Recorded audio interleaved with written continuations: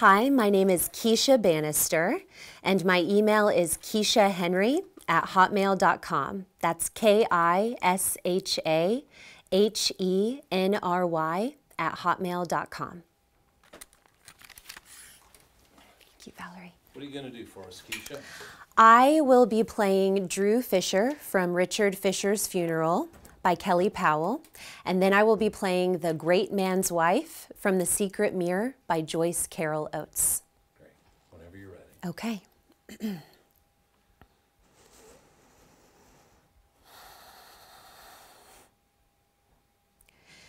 you don't get it. I've been afraid of my father for my entire life. I have spent every waking moment just trying to keep him from exploding, trying to do everything just right, knowing that one day he might kill us all. My first memory is the day my little brother spilled a can of paint down her stairs. My parents were painting the house, and Ricky thought that he was helping. But the can of paint was way too heavy for him. Paint went everywhere. I held my breath.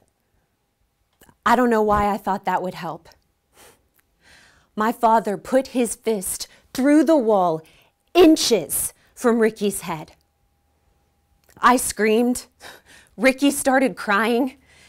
And the whole time, the whole time, my father just kept screaming at us to stop crying.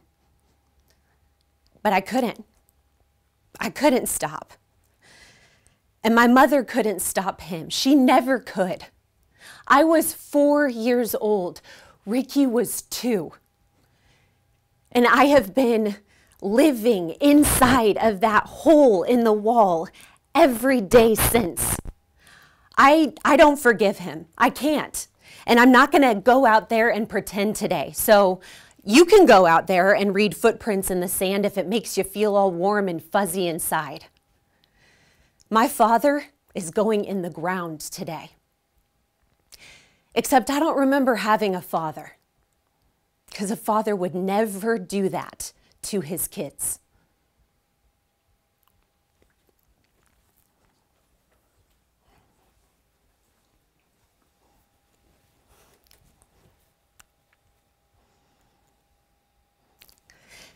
You all know me. Well, maybe not my face or my name. I'm the wife of the great man. Oh, I've been the great man's wife for years. I've been hovering here in the background for years. Naturally, I'm not his first wife, or even his second. They're ancient history. I'm never jealous. I'm beyond that. You could say I'm happy just hovering and waiting. I have a secret. He basks in my loving attention. He always has. It's how I won him all those years ago.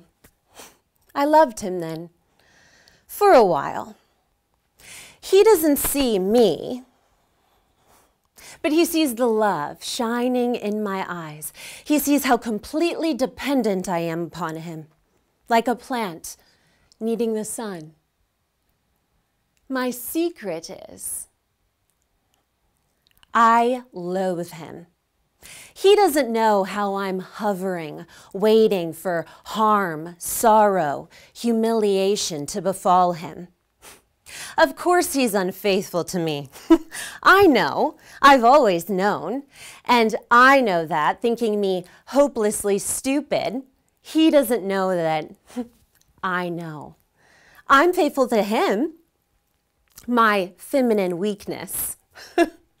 the truth is, men just don't interest me. They never have.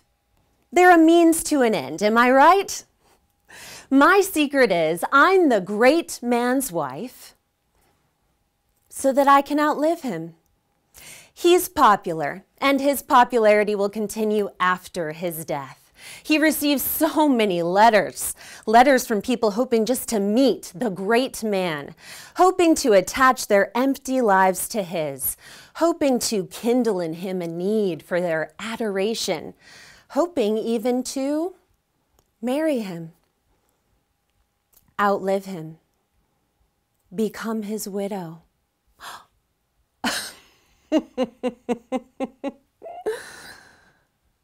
Too late. Thank you.